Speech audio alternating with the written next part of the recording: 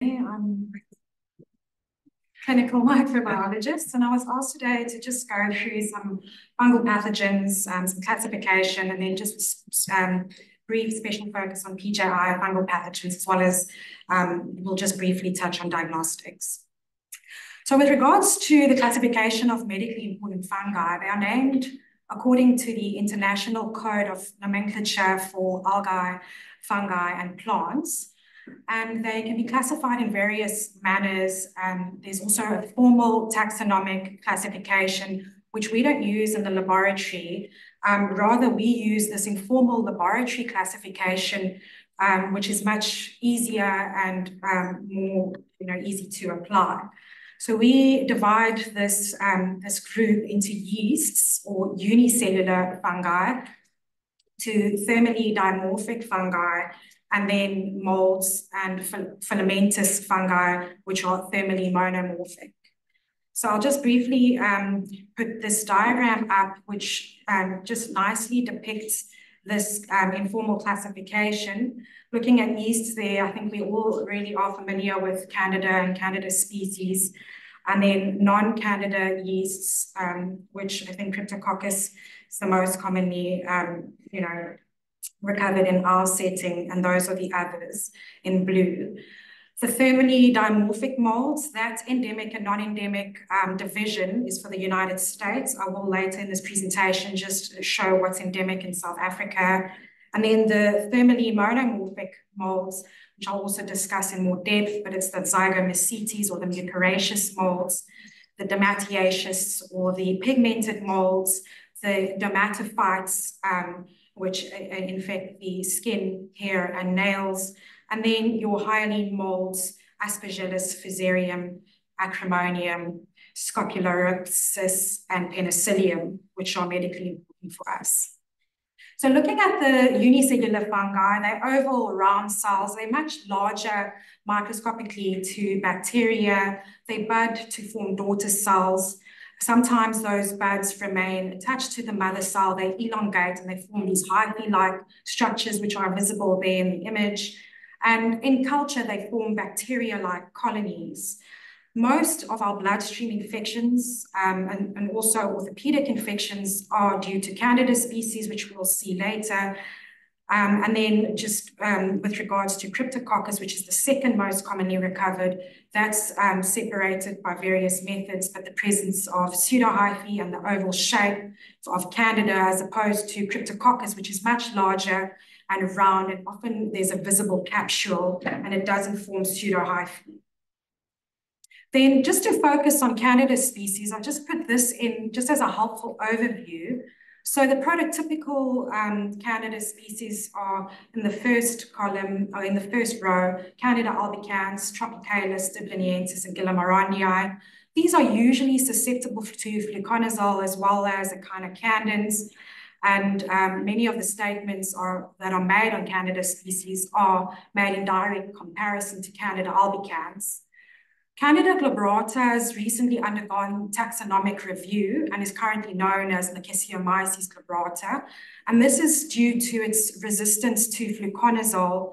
Um, and one must just be aware that many of these isolates are resistant.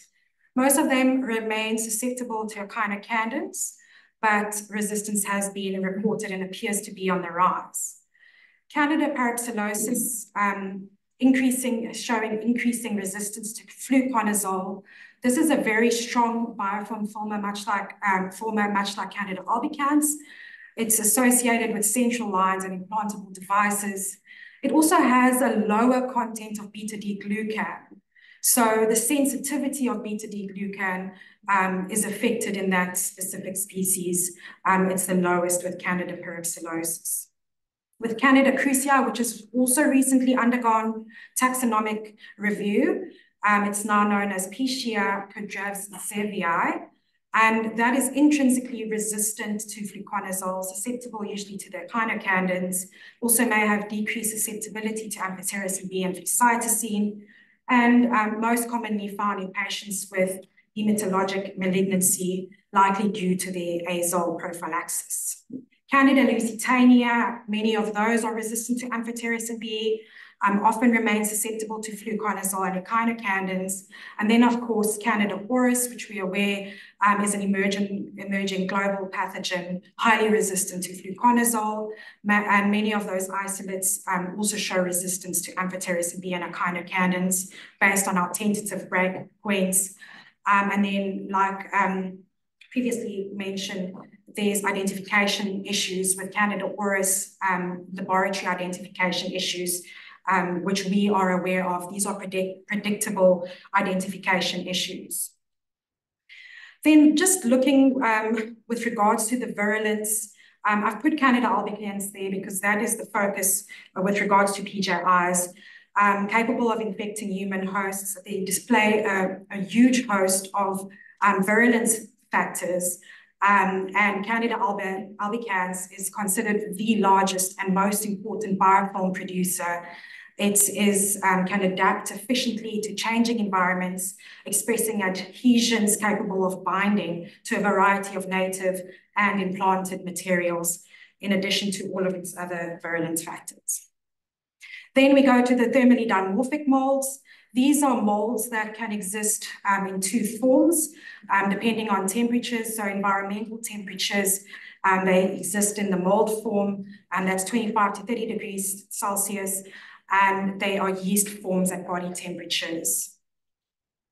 There are seven genera of thermally dimorphic molds, and four of them are endemic in South Africa. Sporothrix, blastomyces, emergomyces, and histoplasma are endemic. Coccidioides, paracoccidioides, and Talaromyces marneffei are not endemic. Thermally monomorphic molds, I've discussed the zygomycetes or mucoraceous molds. These are agents of mucormycosis. Um, these, this is often um, causes different syndromes in immunocompromised patients and those with diabetes. And then dematiaceous molds, which are common in soil and are commonly associated with traumatic inoculation. Um, some of them are agents of Madura foot. Um, and then dermatophytes, and those are fungi which with the ability to gain their nutrients from keratin, and they infect um, skin, hair, or nails. Hyaline molds, and the most common there are Aspergillus, Fusarium, and Penicillium. So now just looking at, um, just briefly going over fungal diagnostic methods. The um, gold standard is histopathology. It's a direct microscopic examination um, where we utilize an enzymatic digestion um, and with KOH, and then we visualize um, any um, hyphae or other fungal elements. And then there's also fluorescence antibody staining. Um, and then, of course, as mentioned, histopathology. And then we get fungal culture. And of course, as mentioned by Ruan, there's a couple of issues with, with culture. Its sensitivity is not great. Um, the turnaround time is poor. And I'll discuss just now how we, as microbiologists and laboratory diagnostic specialists, try and enhance pathogen recovery. And then non-culture methods, those are serology, antibody detection, antigen detection, and immunohistochemistry, um, and then finally molecular methods as outlined by Ruan and PCR and microarrays. I've just put this in just to outline that uh, we often think of culture as the gold standard, but microscopy of direct histology and cytology is considered gold standard um, in fungal diagnostics. Then just discussing PJI diagnostics. So the incidence is about 1 to 4% of primary lower limb arthroplasties and more than 30% of revision arthroplasties. And the true incidence rates have been shown to be skewed due to diagnostic issues. So what are the diagnostic challenges? As mentioned, there's no gold standard diagnostic tests, and that is a clear challenge with, with regards to diagnosis. Um, PJI has lacked um, standardized diagnostic criteria or diagnostic algorithms. The definitions between MI, SIS and IDSA, etc., um, were heterogeneous. And the common question often remains with orthopedic surgeon, is there an infection or not? And that obviously poses difficult clinical decisions. Like we said with culture, there's prolonged turnaround time, imperfect culture-based diagnostics, and culture negative cases um, come at a cost with um, which is up to 40% and um, is associated with um, broad spectrum antibiotics like Ruan outline, Mero, and Vang, um, and that's obviously got its issues. So why is specific pathogen identification critical in PJI? It not only informs antimicrobial management, that's with the selection of primary systemic antibiotics, the need for adjunctive RIF with staphylococcal infections, the selection of local cement and spaces, as well as the decision on duration of therapy. It also informs operative planning, like with Staphylococcus aureus and polymicrobial infection, which can predict um, their failure. And then, of course, attempts that therefore fungal pathogens have substantially lower cure rates and are not um, often practiced. So like I was saying, as laboratory diagnostic specialists and microbiologists, it, it has become um, sort of our mandate to try and improve um, the pathogen recovery and reduce culture negative rates. And there's a couple of ways in which we can do this. Um, so firstly, it starts with you guys with regards to acquisition in the pre-analytical phase where you are acquiring these specimens. So we know that we want multiple independent specimens, um, generally five to six specimens. We want large volumes of pus, of fluid. Um, we advise against swabs. And then um, also blood culture bottle inoculation um, of those fluids, improve sensitivity of culture, and then in the laboratory, with regards to um, implanted devices that we receive, sonication is known to improve sensitivity, as well as with regards to tissues, um, pre-processing or like mastication, cell lysis, dissociation, and then also with regards to fluids, centrifugation, and blood culture bottle inoculation. I've just put this table in. It was a small review on the differences between native septic arthritis and prosthetic joint infection. Just underlined there that blood cultures um, are more often positive in native septic arthritis, and I'm sure anecdotally you've seen that 50 to 7% positive in non-gonococcal um, septic arthritis, and with PJI, unfortunately, mostly negative.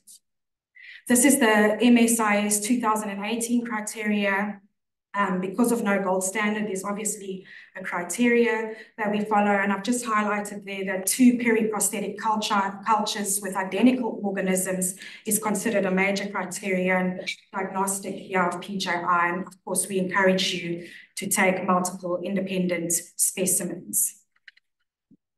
So now I'm just going to quickly um, present some of our data. So this is unpublished data on fungal PJIs, and this is a time period between 2018 and 2023. We searched using those locations or sites, D10 theatre, D14, D15, D5, F22, and F23. The specimens we looked for were pus aspirate, swab, sterile fluid, tissue, and bone. So for PJI, there were a total of three in this period um, two Candida albicans with uh, susceptible, of course, to fluconazole, amphob, micafungin, and caspofungin, and then a Candida parapsilosis, which was fluconazole um, non-susceptible. Just of note, um, the, the, two Candida albicans were from broth, and then that parapsilosis was from a shoulder. This, um, so as mentioned earlier by Prof, that there's a growing there's a growing number of, of cases of PJI with fungal pathogens um, in the last decade, and this is the database search of a PubMed and Scopus with the search um, of the those terms, fungal um, infection, Candida, arthroplasty, and, and all the rest between 2009 and 2019, and this was what they reported. So for four fungal um, pathogens um, associated with PJI, and at, right at the top, 48.6% um, is Candida albicans, Candida parapsilosis. So much like what we saw, although we have a very small sample size, only three, also it's reflective. Um, and then the um, non-albicans candidas, and then the non-candidal pathogens was two, six aspergillus and six pichia um, so 2.3% for rather 4.6% of non-candidal pathogens. So I thought I would also just report on fracture-related infections and osteomyelitis. And this is the data, same um, search criteria, Candida albicans, um, Candida parapsilosis, Candida glabrata were recovered, reflecting the international data, and osteomyelitis, one Candida albicans. Looking at fungal, uh, we've found fingers and hands. Also, Candida albicans and parapsilosis. We had one sporothrix schenckii for a finger, and then also Candida albicans with a hand species. So all in all, we had 11 fungal isolates recovered um, during that period, seven Candida albicans, four Candida parapsilosis, and one Candida glabrata. So in discussion, fungal PJI GSH appears to be rare, three cases over a five-year period. Candida albicans predominates, mirroring global data on fungal PJIs. All yeast isolates at GSH were susceptible to amphotericin B, and no molds were implicated. In conclusion, PJI is one of the most feared complications of total joint arthroplasty and has obvious diagnostic challenges. Fungal PJI is rare, and although PJI is commonly a result of colonization by staphylococcal species, fungal pathogen cases have been reported. Candida species are the most common fungal pathogen identified, with Candida albicans implicated in most cases, and fungal PJI has therapeutic implications and case management is typically complicated by patient comorbidities. Those are my references. Thank you.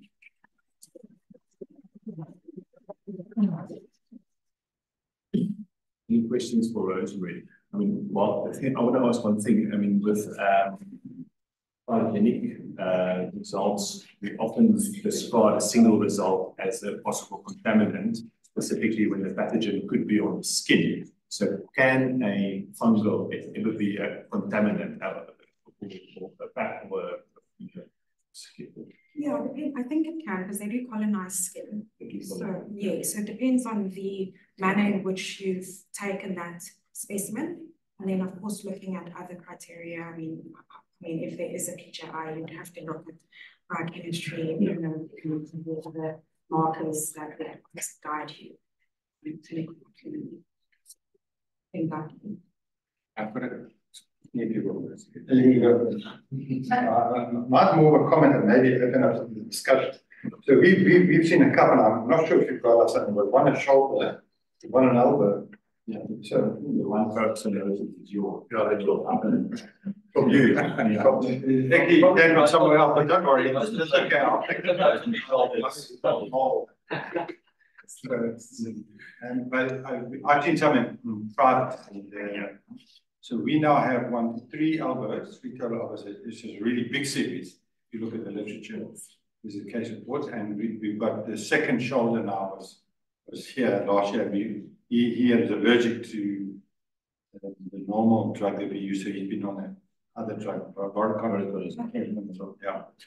Um, the, so one's in an amputation, one had no treatment, and subsequently had four operations with four biopsies with no Candida grown. We grew Candida from six samples first time round. So it was clearly equivocal that it was a, a Candida. So completely cleared by itself on six different samples. So bizarre.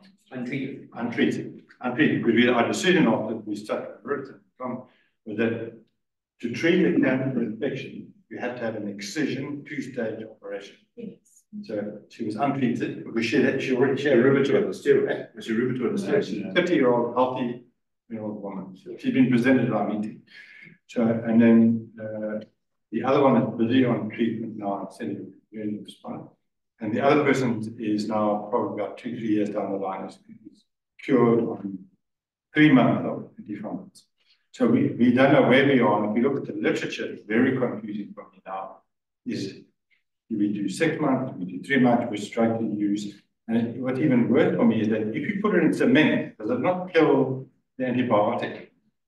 Is it the cement that's the heat of the cement that's killing the bugs? Is it the antibiotic? How long does it stay? I know there's very little, little literature, and, and 10 days, uh, there's no more fungal effect on them. So I'm not sure if you have any comments on those sort of thoughts. I'm hoping Priya will answer some of those questions with regard to therapeutics. Um, okay. So that, that, can it be a contaminant? So we've got six samples that are positive and yet untreated. I mean, she's been biopsied four different times, I open, properly taken biopsies and negative. So I've got, um, let me see where you can answer. So on the Tina is also on the call. It is something that is a little bit more common in primates. I think there's a lot more patients with multiple revisions antibiotic exposure. So we have a much larger cohort of primate Yeah, I mean, there are many, there will be many factors driving that, right? So one is, is the context makes sense that six samples are positive and you've got this one species of Canada, and it may be a true reflection. But I think often sometimes, and we've seen this not with your unit, but with uh, urology, is that the equipment that is used can introduce contamination.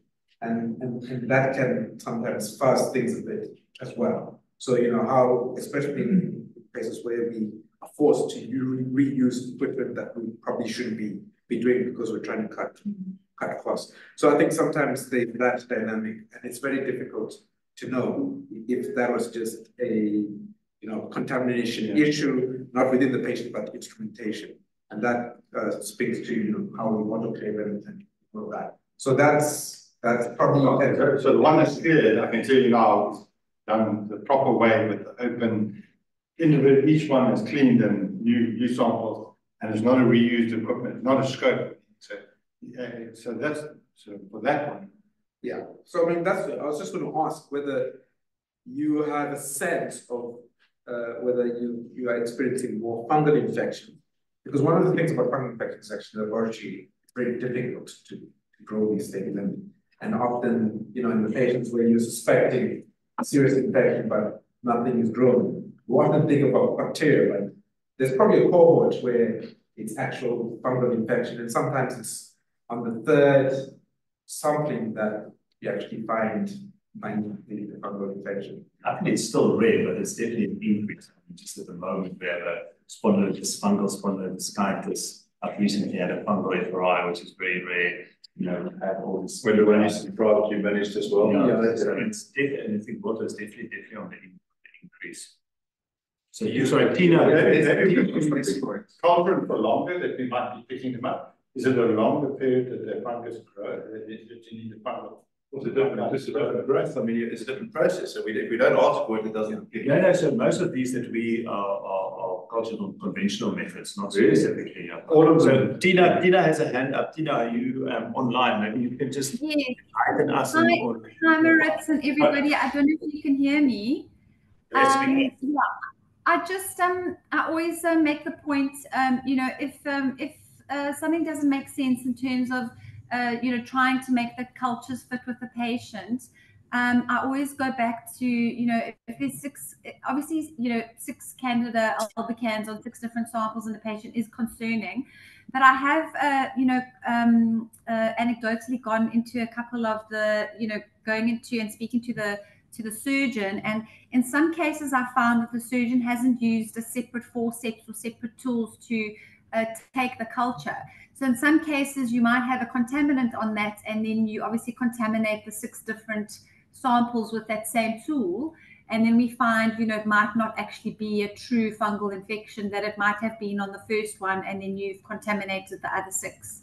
So in that case, there might not necessarily have been a fungal PJI in that situation. For instance, if somebody may have had a a growing thrush, etc., etc. So one does need to actually put it into context and see whether that was a true infection if you know all the other markers were normal. So it's just something to think about because um, I have had cases, you know, where we've grown a pathogenic organism uh, and everything else is actually um, normal, and it turns out to be just a loosening, and patients do get better without any um, antimicrobials at all. So it's just something to think about. Tina, and maybe can you just comment on on the um, the cases from uh, the unit visibility? It's also from my memory, mostly parapsilosis and some other scapular Candida auris, um, the, the pathogens that you see. Yes, I think um, the ones that we see mostly, as you mentioned, yes, um, we haven't seen many Candida albicans. I think the ones that are particularly uh, biofilm producing in our case, and we know that colonize the skin and love, um, you know, prosthetic material are the parapsilosis uh, species, and those are the ones that we've seen the most. Uh, we've had quite a lot of PJIs, and I, am sure Tom will present that later. Um, yeah, and usually we do grow them um, after about five to seven days. Um, and it's usually on three or more samples that we found. Uh, generally fit, um, you know, the, uh, the, um, uh, the patient profile. Um, normally it's a patient who's been on antimicrobials previously. Uh, it's not usually their first rodeo. they have had previous operations before. Uh, it's normally on a revision. Um, it's normally patients who've yeah, been on antibiotics.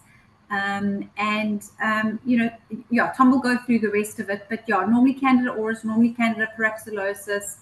And um, some of them do well, some of them don't do so well. Um, and yeah, but we'll go through all of that with Tom. So yeah. Any other questions for Rosemary?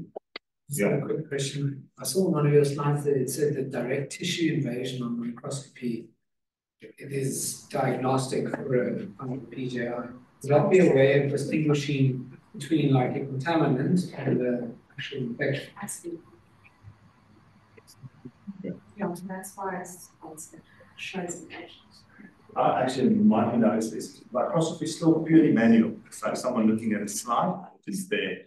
Yeah, when it comes to histopathology, yes. Um, so there's digestion, and that's we look under the microscope. There's no AI or um, TLA as yet with those. Well, there is total lab automation and machine learning for microscopy, but that's more for cell counts, and that's just to improve standardization so that you don't have different cell counts per individual. And, and should we be asking for a fungal culture on every PJI now? Or do, does it routinely get cultured? Yeah, because it's clear. So I think I think you, you can ask for it. It does grow on our routine media. Um, but when it comes to um, mold, etc., the I mean our Sabouraud dextrose agar may assist with recovery and selection. you know, but you're not really involved in PJIs. No, we haven't. No, no. Just to rectify, you know, all the all the PJIs are yeasts. So yes, yes. So yeah. will be yes. Yeah. That will that will be recovered on our on our routine media. Yeah. Thank you, But perhaps I think we, if there's a high suspicion in a particular case, then it's worth alerting the the microlab labs. Uh, what interesting you talk about the, the other genomics is that the 16S DNA is not for, you have to actually ask for fungal DNA. Fungal 16S, yeah. 18, 18. Yeah, you actually have to ask for fungal, you know, one. Yes, that's the correct. New, with the new study now, it routinely picks up fungal and bacteria. Yes. Yeah. Yeah, so that's going to reduce culture negativity. Awesome. Okay. Thanks, thanks, Rosie. Sorry, do we have a sonication facility or? I don't think we sonicate. No. no. Would be found in the back room. No, there's different. He was using a bone crusher. He was using another instrument to crush the tissue, which is obviously a slightly different process. That there's some um, there's, there's some similarities in the increased yield. Um, so he did a study on crushing the samples, not certification. But and I mean, might we might acquire a certificator yeah. Is that the right word? Yeah, yeah so I mean, I, I, I chatted to Tina um, about, you know, what, what do what do they do at their site? And um, they don't sonicate, they, they uh, vortex in, in broth, mm. um, which uh, some literature or, or from Tina mentioned that, you know, you get the same sensitivity gain with less specificity loss. So, you know, as a, so protocol development is ongoing. So if anyone feels strongly that we should include sonication as a participate in the study, and either we can about including. Okay, brilliant. You know, so that begs the question, do we know what our negative alpha relate for PJI? Yes, we know. So we actually, our negative rate's quite low. So, so PJI is around 10 to 15%. So much lower than um, other literature. So it's not a big problem for us. Probably the reason because we mostly investigate for hard side. There might be some patients with mildly painful joints that they're not actually culture. So we mostly investigate for hard signs and then our, our culture negative That's really low. So our culture negative rating is different studies different between ten and fifteen percent very low. Michael and, and, um, Mark, do you, if you have a loose joint, do you send cultures away every single time? Or I don't. No, I send away every loose joint and we have very few. I we, I think we should, yeah. But every single revision operation I do now, I'm getting tried. And I'm amazed at the amount of people that come back to positive culture. If not Marit, Every single. almost everyone come back to it, like Even not loose, about six, Yeah. fifty in, in, in, in. So in other words, a non-union or a fixation for a, a revision for another reason other than infection, fifty percent also have. It's, a high number. So Yeah, it's a revision surgery, I think we must be thinking about it. Also a question about the fungal culture in PJI, I think if you, on your second or third revision and the patients been exposed to antibiotics before. Perhaps on your first revision, it's not. For the sixteen S, No, for, for if you want to send, uh, tissue away in say like fungal is the structure. so in fact, we've just discussed today, routinely fungal culture. So everyone is fungal culture. Well, those cultures are in broth, and then you've got fungal, but it's not- not specific to it. But if you want a specific fungus, you put it in saline. And I would do that on Also, that's interesting because I asked the people in private and they said, don't worry, it's kind of, so so maybe I'm wrong. If we, if we ask, if say we want a fungal culture here now, do we have to take a different sample than the broth of? Broth? No, No, because it will be recovered on our primary media. yeah, The eighteen S, if you want that, then you need. yeah, yeah, so you, you need to ask for the, for the fungus, for the DNA, you need. And it's we usually, because of course, hold back with that, so we first see if we culture something, and then we just do that as a second line with the cost. Can you retrospectively ask to, for a fungus on your, if we send sixteen S away, for bacteria, can we then, if we don't grow, everything's negative, can we then ask for a fungal on that DNA? No. Well, I think it depends on what tissues you sent and how it is processed, because uh. There's a risk if it's gone through one process, if you then retrospectively ask, there, there may be just noise and contamination, and you don't know what that means. Biochemically and clinically, do they present the same way as pathogenic infections? Not a very good question. Okay, like scrubbing along. In um, the years of last year, PER also raised the same levels. So uh, the, the last, the shoulder patient, two weeks post-op had a draining sign. It was grown right from, I don't know, four the sample. No bacteria, just a fungus. And that was two weeks after revision, had a revision and we sent away. The two weeks, we sent the sixteen samples, the six samples away, no growth. Two weeks later, draining signs, and back, all results. Okay, so got from the ward. Thank thank you, Brad. Afternoon, everyone. I'm Priya, one of the infectious diseases fellows, and I'm going to be giving a brief overview of the management of fungal prosthetic joint infection. And to start off, we are going to be talking about a case that I think everyone knows pretty well. It's a gentleman seen last year at your uh, unit. It's a 55, a 51 year old gentleman with multiple comorbidities, hypertension, smoker, poorly controlled epileptic, and raised BMI. He initially had a shoulder replacement in 2011 after a um, left humerus fracture was seen again in 2023 in George um, with shoulder pain and weakness, reduced range of motion. He was assessed here at um, um, orthopedic unit and booked in for theatre on the 31st of October. The initial surgery showed no signs of infection. He had a um, joint revised, and then the samples at that time, six samples taken, no growth. But within two weeks, the 13th of November, he had to be rebooked in for surgery because he had a draining sinus. This time, the repeat samples that are taken showed a polymicrobial prosthetic joint infection, both fungal and bacterial. Three out of six cultures had this Candida parapsilosis. You've got the sensitivity down there. And as Rosemary has mentioned already, they often tend to be resistant to fluconazole, which is our first line azole and also had um, both um, staph species as well as anaerobes on that same sample. Um, what happened in the ward is that he had 10 days of amphotericin B to um, with for the for the um, Candida parapsilosis, but then ran into issues with toxicity and had renal failure, was switched to fluticasone. He also received linezolid to cover the um, gram positives. His implant was retained, and he did actually quite well, was transferred back to George with, um, with the idea to follow up on the voriconazole levels and follow up at, um, at the orthopedic patients, which he has done. He stopped the linezolid and is continuing on his voriconazole at this point.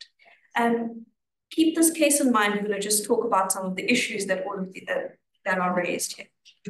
So as mentioned, fungal prosthetic joint infections are much rarer than bacterial. It's only 1 to 2% of all PJIs. The um, data on the left there is from the WITS team who looked at all their PJIs from 2015 to 2022, I'm sorry, 2020, and they only noted two fungal infections of rodent candidates in their sample. But it is an emerging problem noted worldwide with increased number of surgeries done on joint replacements. And as um, um, Rosemary's also alluded to, the, uh, uh, the incidence of resistance in fungi are increasing. And so they can be very difficult to treat appropriately.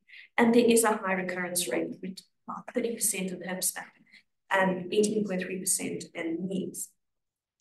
There are also diagnostic difficulties because the clinical features can be non-specific. And there's your MSIS criteria from 2018. So you need two positive cultures, but as we've said, fungi can take much longer to grow. They can um, even by special media, longer time. So they might be sent home before that culture actually grows, depending on what the fungus is. Um, sinus tract, this patient did have a sinus tract that um, I presented, but that's actually in literature not reported to be the norm. They can, it's thought to be a much more chronic PJI and those symptoms can be um, more The CRP and ESR are often noted to be low and minimally raised, um, which once again for your minor criteria might be an issue. The last issue, of course, is concomitant bacterial infection, which is actually noted in 15 to 20% of PJIs, in some case series up to 30%. And the issue is that there's synergism between the bacteria and the candida species. And for example, in Staph aureus, there's decreased effectiveness of the antifungal therapy because of the staph and the candida biofilm and increased candida um, adhesion capability. The candida in turn decreases the susceptibility to vancomycin into that biofilm in terms of Enterococcus um, species, which don't normally form biofilm very easily. Candida allows them to form biofilm. And an anaerobic um, organism, such as this patient who had a um, bacterium, that um, Candida allows to have and uh, enhances that hypoxic environments, allowing them to thrive and in there otherwise where they couldn't. live.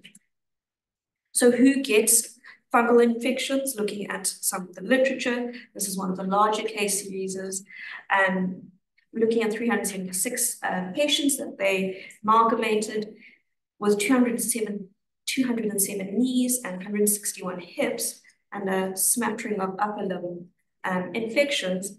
And what they noticed is that on top of the normal risk factors for having a fungal infection, which was usually related to immunosuppression, one specific for fungal PJIs are what you've noticed probably anecdotally as well. They're diabetics, the prolonged use of antibiotics, previous joint infections. Here, immunosuppression is not HIV related because the case series were not based in um, areas where there's a high background HIV population, but cancer and other um, autoimmune conditions, obesity, as well as multiple revisions. However, in up to a third of cases, it seems like there are no previous um, risk factors that are identified. And once again, this case series also noted a high number of Candida albicans followed by parapsilosis, and a very few, so nine out of all their cases had actual um, aspergillus, which is mold, which is grown. There are case reports, however, there are every type of yeast infections found in prosthetic joints, but obviously not to great numbers. So how would you treat? It's a mixture of surgery, question of antibiotic cement spacer that has been raised, as, was medic as well as medical therapy. So in terms of implant retention, um, it's generally thought not to be a valid option, mostly because it's been associated with persistent infections, multiple revisions. But as you can see, the numbers reported are very, very low. It's only really a handful of cases in literature. Single stage has been looked at in various centers and have um, published their results, but usually a little bit discordant, um, only 30 cases once again, small numbers. And here the key seems to be selecting your patients appropriately. So older patients or people with multiple comorbidities who might not be appropriate for multiple um, stage um, surgeries. And if you are going to treat um, medically that this patient will, um, the, the organism, the fungal organism that has been um, identified needs to be well identified and have a good sensitivity profile that you know is actually going to respond to treatment. Two-stage revision is obviously considered to be um, the, uh, the, the, the recommendation choice There has been actually a little bit of variation in what the eradication rates are. So um, in a larger series, um, 85%, but down to 65 once again, depending on what are the actual sensitivities of those fungi.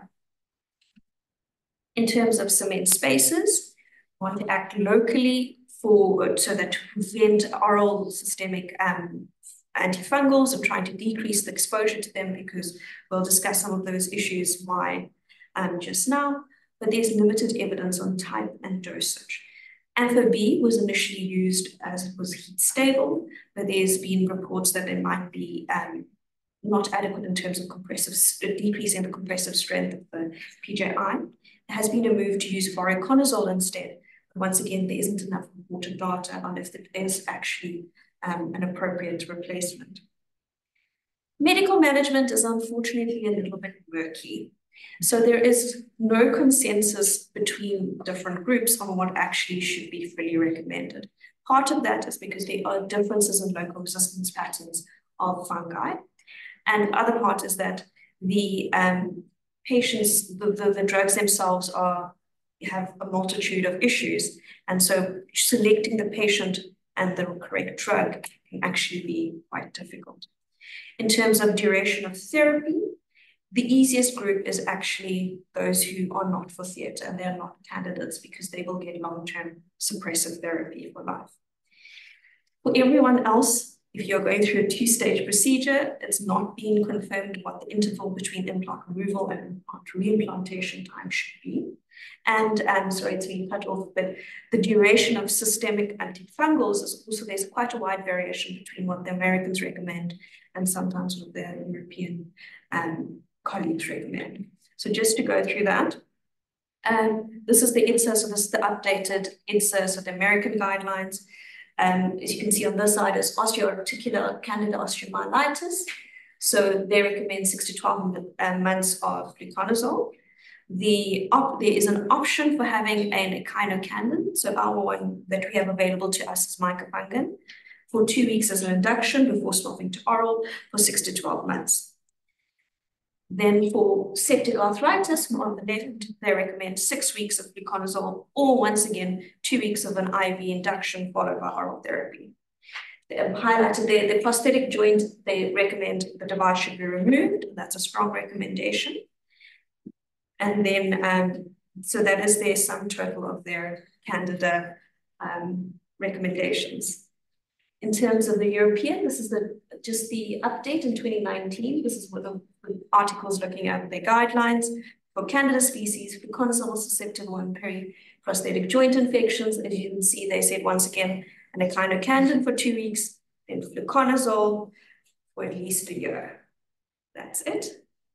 And if it's resistant, individualize with possibly with voriconazole. This is the ECCMID, so once again, European guidelines from 2012. This is the last full guidelines for this. And as you can see, once again, it's spondylodiscitis, osteomyelitis, six to 12 months. However, if you're giving Ampho-B, an induction IV, between two to six weeks, so there's a very wide range there, and then followed by fluconazole for five to 11 months, so about a year.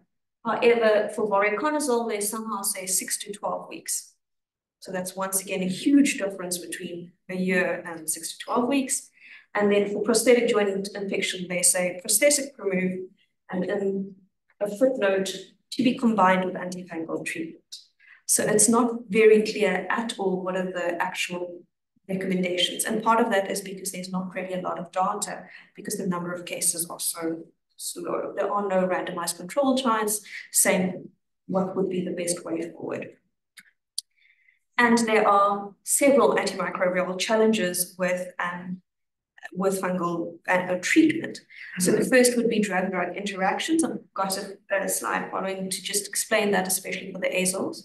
Toxicity, we all know amphotericin B, nephrotoxic electrolyte issues, thrombophlebitis, but the azoles also have their own brand of toxicity. As a class, they're all hepatotoxic, and each of them individually have variations of other toxicities, including neurotoxicity, um, periodontitis, as well as phototoxicity.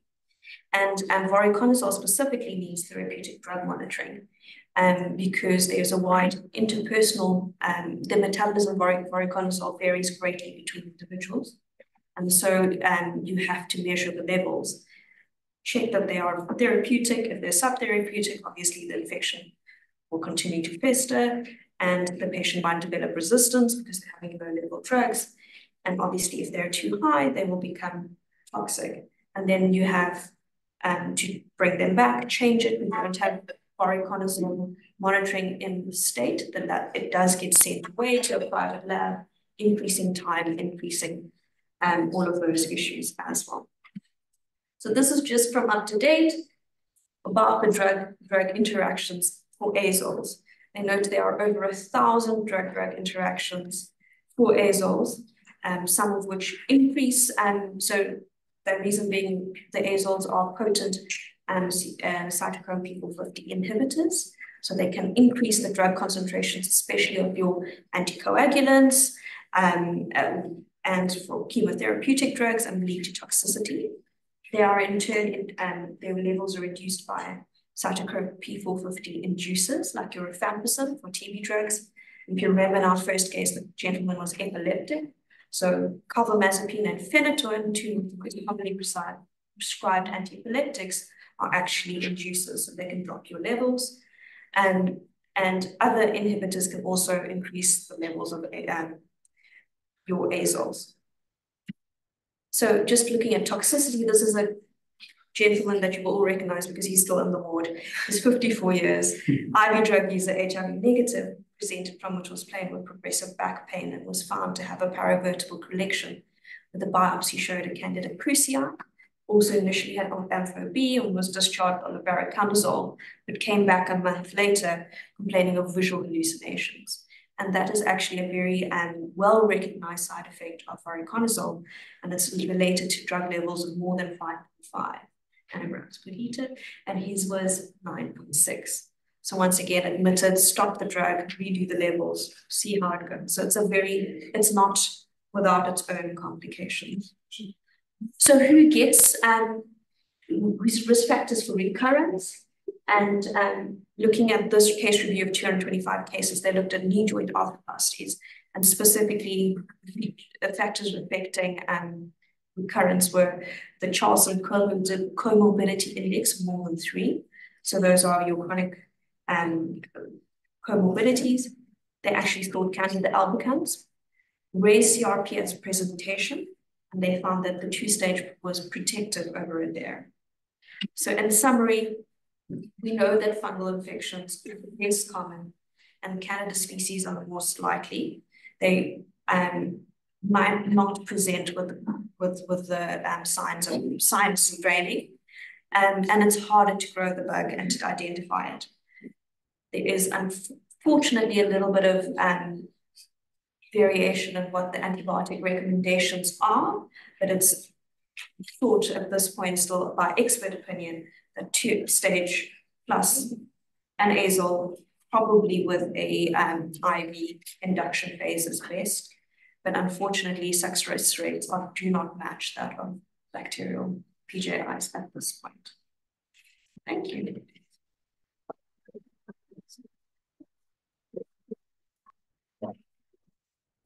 Well, I understand why, I mean, why the recommended induction period with the micafungin, is it just to have a different application or there's some synergistic effect with the azoles? There's, there's no synergistic effect, but it does, it's much.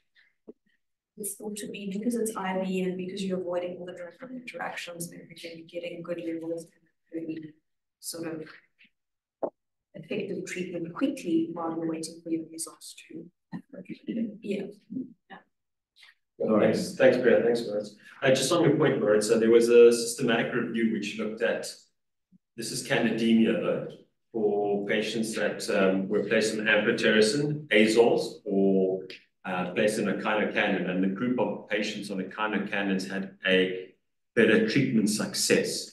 That's why we prefer for our sick patients to place them on an echinocandin um, initially. But in, in saying that, echinocandins are very expensive and I'm not sure if we, we, I guess it's good clinical practice to give the IV echinocandin for the first two weeks and then like we usually do at least seven days of IV and then change over to an oral option.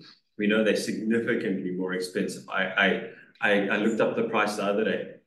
14 days of an echinocandin is 8,400 Rand. 14 days of fluconazole is 31 Rand.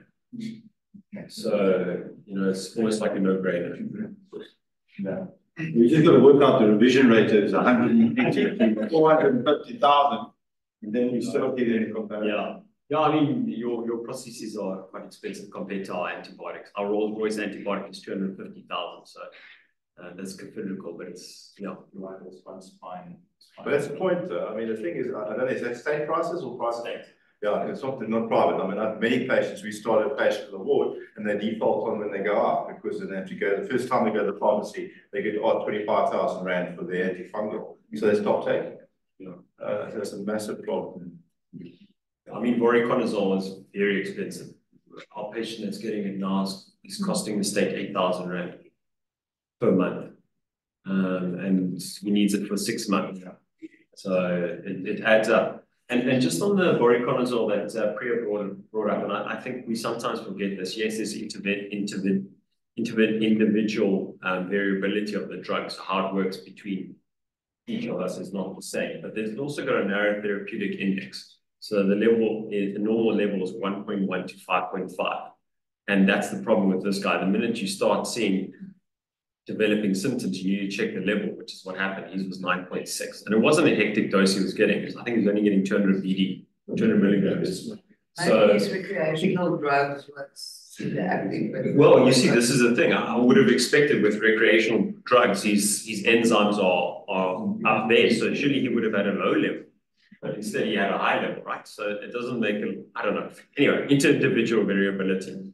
The other thing is with um, voriconazole that you, you need to consider is because it's got so many drug-to-drug -drug interactions, even if you add drugs later on, you need to make sure there's no um, um, drug-to-drug um, interaction. So rifampicin, as Priya said, it's it's it's marked as an X. So we, we looked it up today with Ying. And the problem is rifampicin decreases voriconazole by 93%. So it's I mean, you basically give your patient Smarties, right? Yeah. So it's just to keep in mind if you've got a patient who's got Staph aureus as well as a Candida albicans, you know, we must just be careful about adding that roof in. Uh, not Candida albicans, uh, Gibraltar. Two common comments. The first is that the rifampicin at the moment it sounds like it might not do anything for our body. Second, the, the second thing is is there any genuine evidence that we should be using the antifungals for three months, six months, or a year? Is there a scientific reasoning behind it, or just somebody thinks fungus takes a long time to treat, let's put make it a year and see what happens? Yeah, so I, I was looking at Priya's slide now when she was showing, I think it was the European guidelines where they're saying grade evidence and sta standard of standard of evidence, uh, standard of evidence versus quality of evidence, something like that. Standard was the, was most of the time B okay, which means moderate recommendation. Level of evidence was two or three. So two means based on um, prospective trials, and three means expert opinion. What's expert opinion, right? And most of them were two or three. There's, there's no, Yeah, I think just just a comment. I think there's a caveat to this. I think one of the things about patients with fungal infections uh, in their joints or bones is that they often discover late. And the recovery, once you start, is going to be long, I think. And, and I think the default has always just been they're not better, so let's give more antifungals. I think that's how practice has really emerged. And it's probably time somebody really looks at that and sees and, and, and see where, where we can go. Because I think now we're better diagnostically, we're probably catching them a bit earlier.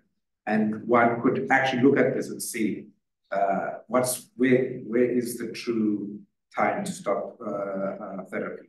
Mm. So the, the, the, very first one we had was a patient from Leisner. In fact, they're nearly all from that part of the all Eastern Cape. Maybe the DA bringing them down. And so she she ended up with an amputation. She was a rheumatoid and she was a revision of a revision. And uh, she had some other joint issues. And, and we went to the literature and they said the rheumatoid who has multiple joint pain actually has candida in all the joints. So if you have a patient with, who needs a revision, you should be biopsying the other joint because they have candida in them as well. And it, you cannot treat that patient. Basically, because they will constantly reinfect themselves and your, your antifungal will work. I don't know if you came across that in the literature, but that was the first time I looked at uh, fungal infection in joint patient. So if you if you have a patient with multiple joints replacements, rheumatoid, and they got candida in one, you must check the other joint. They say you must biopsy the other joint. I mean, it's crazy. Anyway, she's amputated. She's had an amputation. You know, brilliant. Thank you. Thanks. So how long are we going to treat them for? Uh,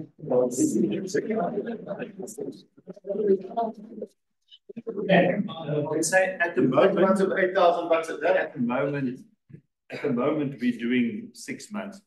Eight thousand rand a month, I think. But not very private, not very private. Yeah, it would be, it would probably be double the price. I think it's yeah, multiples of it. Yeah. And even if it's a PMV, they just won't matter.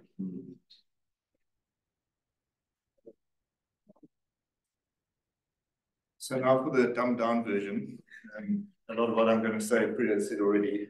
And um, if you're here in a, for a clipping contest about cost, I'm feeling supremely confident.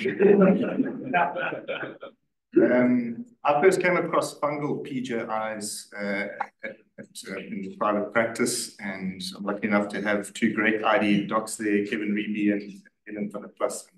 And, and my introduction to to uh, fungal PJI was from Helen, and she said that fungi only grow on things that are dead. And um, unfortunately, she was very correct, and that patient ended up dying. And as you'll see a bit later in, on in the talk, it was a Candida auris, and so these infections are very real. They're basically PJI on steroids. and the difficulty is more the cost that we've discussed because of the duration is much more. The morbidity to the patient is massive because of the duration of treatment, the length of hospital stay, and the outcomes are worse. And uh, in my opinion, uh, our MDT, both here and, and in private, is absolutely essential. It's taken away so much of my stress managing these conditions. And um, one of the great, uh, not comment um, now about the outpatient antifungals, one of the great aspects is that our ID guys apply to the medical funders and get authorization before the patient leaves the hospital. So they don't have to pay for six months of antifungals out of their out of hospital benefits. And um, rightly or wrongly, or good, goodly or badly, we, we've done so many times we get authorization quickly. Um, and there are many aspects um, to the MDT, as you well know, and, and, we really find the team, including the nursing team and the management of CVPs, wounds, dressings, those kind of things is, is absolutely essential. And of course, the right setup in theatre with the right infection control measures is very important. So are fungi taking over? And um, if you've watched The Last of Us, uh, it's a really good show, and uh, I can highly recommend it's all about fungi infecting our brains. um, a lot of what I'm going to say now, Peter said already, but uh, so the, if you've got a joint replacement in the li your lifetime risk of developing a PJI is about 1 to 2%, one hips, two knees, but the, the chance of developing a fungal PJI is 1% of that. And so you've got to be very unlucky to develop a fungal PJI. And uh, to give you some uh, examples, in South Korea, over a four-year period, they looked at 25,000 patients and only found 30 cases of fungal PJI. And the largest series in North America was uh, 41 patients they found in all their um, replacements over 10 years. And we discussed some of the risk, risk factors, which actually aren't much different from that of a bacterial PJI. And it's very difficult to tell the difference. And I don't think any of us would be able to look at a patient clinically or, or radiologically and say that this is a fungus. Um, one has to be very cognizant, however, of a couple of things. And one of those things is uh, recent antibiotics, whether that's been recent antibiotics over a joint replacement or the GP giving antibiotics. I think you we see the synergism there, and uh, it sometimes creates an environment where the fungus can flourish. Prolonged wound drainage is a big issue uh, for surgeons, and, and Michael Mark have got a, a SOP for what we do when we've got a consistently leaking wound, and that's very important because that can be an entry point for uh, fungus, and it sounds like Steve's had a case like that as well. Um, and they do overlap with bacterial infections. We discussed, uh, so the literature I, had was that almost uh, a third will have a concomitant bacterial infection, and there's a slight predominance for women and knee replacements to develop these. Uh, Candida seems to be the main culprit with non-Candida species um, comprising a much smaller part of the um, burden, with albicans and um, parapsilosis being the two main culprits. In our series, which I'll show later, um, funny enough, albicans has taken a slightly lesser role. Uh, it's, we, we get it mostly after a prior revision, which is why I think that if you've had a patient that's been multiply revised, had a long-term treatment with lots of antibiotics, our culture for a fungus um, routinely in that situation, perhaps not your first PJI. And uh, unlike osteomyelitis and septic arthritis, um, Candida PJI doesn't really arise from a contiguous point or a candida. And as we know, they're biofilm-forming agents. Uh, so in terms of our sampling, we've developed a bone and joint uh, form to help the surgeons remember what to take. Uh, you'll see there's a little mark, a man, so we can, a woman, we can mark uh, where exactly the problem is. That's to help the microbiologists. And then to remind us to take anywhere between four and six samples, depending what you believe, saline and, and for the fungal and uh, joint fluid for um, MC&S, putting that in an EDTA tube for a cell count as well, and then of course histology. So of course, medical management and surgical treatment together are absolutely critical, and there's no role for one or the other, an issue of just suppressing the patient.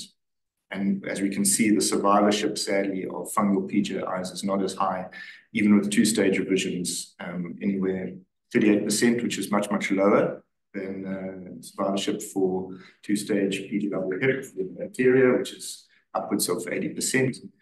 Uh, but it's slightly higher for knees. I'm not sure the reason for that.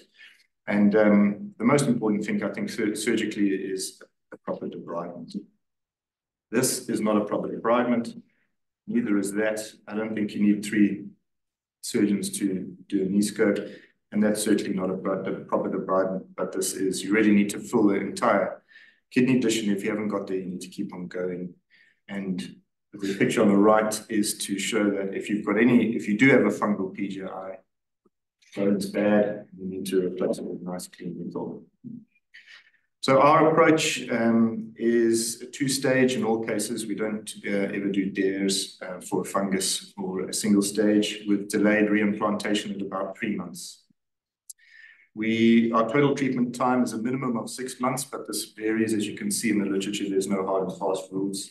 We try to give two weeks of uh, IV therapy and then switch to high dose oral fluconazole if the patient or the fungi is sensitive. We don't often get the two weeks. Sometimes we're a little bit less, sometimes we're a little bit more. And we try and use a dual agent with a high fungal load, actually. Local antifungals, I do believe in them, although the, we, we're still waiting for those good trials to come out, but we use calcium sulfate beads. There's also no uh, guidance on how much antifungal to put in the beads. Um, we did a review of the case series that are out there, and none of them make any recommendations. We use 100 milligrams of amphotericin B per 25 cc, either of whatever product you want to use. And what I have noticed is that the setting time is longer with an antifungal, so you need to mix it at the beginning of your operation and put it near the autoclave so it can set. And uh, anecdotally, I've seen more wound um, using beads of this nature.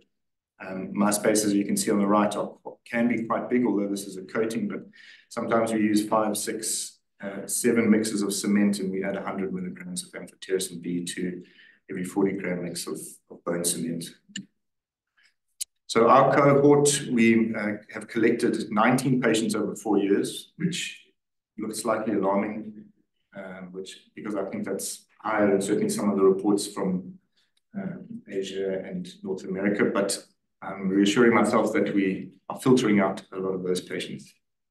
Nine of which were PJIs, same amount for um, bone infections, and we had one native septic arthritis. And uh, the micros below, as you can see, there's a predominance of the parapsilosis, with almost half being that. Uh, albicans, which is meant to be the main, the, the main contributor, we only had one case. And to note of our Candida auris, we had six patients, three of whom died, two had an amputation, and one has a, a two-stage revision. Is approximately 18 months out, still with his joint, and so far infection-free. So if we select out the PJIs, um, sorry, there's nine PJIs, I don't know about this eight there, but the, the was four. The, the, the auris of the um, uh, patients, one died, we've got an even spread, one died, one amputation, and one survived uh, so far with a two-stage. The albicans was one, and the was one. And uh, we saw a slightly higher uh, concomitant bacterial infection with um, four of the nine patients having uh, a concomitant infection. So for my take-home messages, I strongly believe in antibiotic stewardship and not giving antibiotics for at the drop of a hat, and I found the MDT extremely important. Really be get on top of your leaky wounds. We've seen a predominance of Candida species. I think a two-stage surgical procedure is the way to go with a proper debridement. One, there's no room for uh, a gentle procedure. You have to be aggressive. Um, the treatment is longer, the doses are higher, and I believe in local antifungals. And just beware if you have a patient with Candida auris, be very, very uh, afraid because there is a high morbidity and mortality from it. Thanks.